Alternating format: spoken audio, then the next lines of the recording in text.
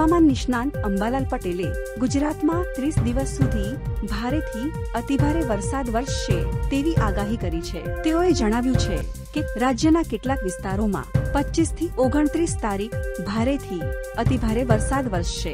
સત્યાવીસ, અઠ્યાવીસ અને ઓગણત્રીસ જુલાઈના રોજ પણ ભારેથી અતિભારે વરસાદ પડશે. આગામી છવ્વીસમી જુલાઈએ દરિયામાં ડિપ્રેશન સર્જાશે, જેના કારણે ભારેથી અતિભારે વરસાદ પડશે.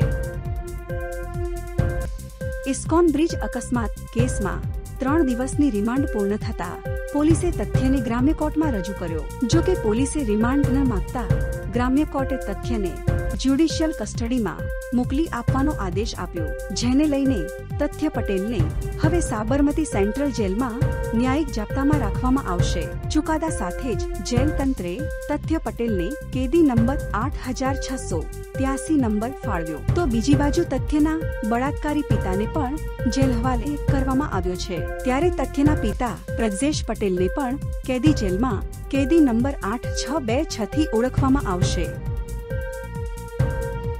સેંકડો નારાજ લોકોએ સોમવારે મેઘાલયના મુખ્યમંત્રી કોનરાડ સંઘમાની ઓફિસનો ઘેરાવ કર્યો હતો.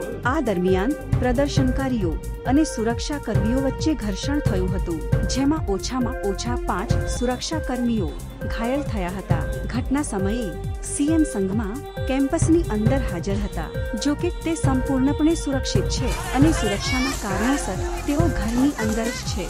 વાસ્તવમાં મુખ્યમંત્રી કોનરાડ સંઘમાં એસસીએચઆઈ કે જીએચએસએનસી સહિત વિવિધ વિરોધ કરી રહેલા નાગરિક સંસ્થાઓ સાથે મહત્વપૂર્ણ બેઠક કરી રહ્યા હતા. અલ્હાબાદ હાઈકોર્ટે ઉત્તર પ્રદેશમાં યુવક યુવતીઓ વચ્ચે લિવ ઇન રિલેશનશિપના વધતા જતા કિસ્સાઓ પર ગંભીર ટિપ્પણી કરી છે.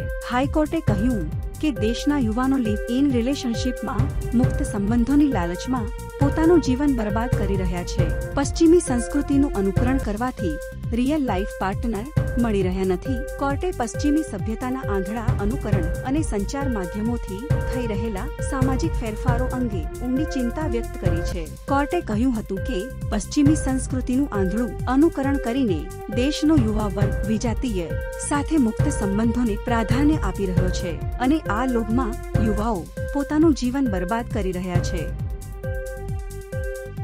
બ્રિટિશ અમેરિકન ફિલ્મ નિર્માતા ક્રિસ્ટોફર નોલાનની ફિલ્મ ઓપેનહેમરે દુનિયાભરમાં ચર્ચાનો વિષય બની છે, જો કે આ ફિલ્મને લઈને ભારતમાં વિવાદ સર્જાયો છે.